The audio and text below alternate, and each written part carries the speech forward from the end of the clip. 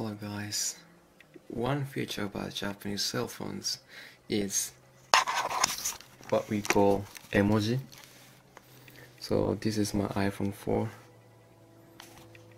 and yes, on iPhone or maybe iPod Touch too, you can use uh, emoji. So for example,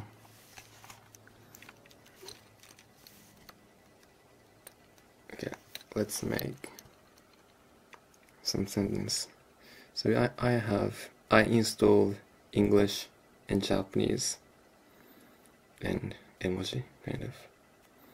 As you can see this is maybe what you're familiar with and you can change it change this keyboard into Japanese keyboard. The Japanese keyboard looks like this actually this is not only the way only one way you can type Japanese also you can use keyboard like this. But yeah this is how I use. So if you want to type a just click once.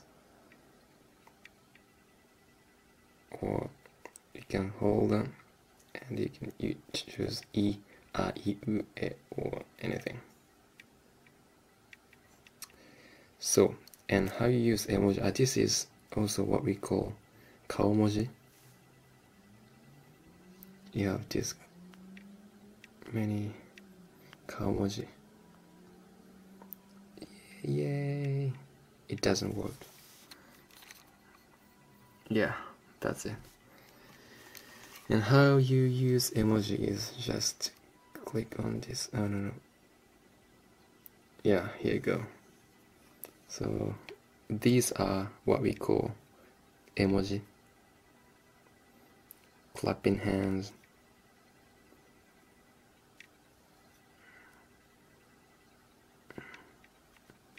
Uh, bird. Yeah. Apple, strawberry, hamburgers, sushi onigiri, and you also have vehicles and buildings. So these are what we call emoji.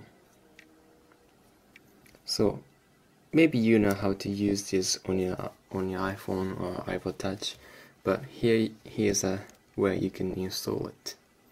So open up the setting and go to general and go to keyboard. Yeah. So I have English Japanese and emoji. So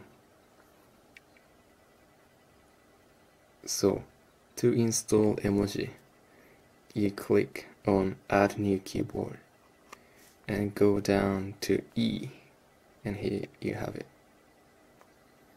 Now you have it and you can use emoji that's it. That's not so hard. Yeah. So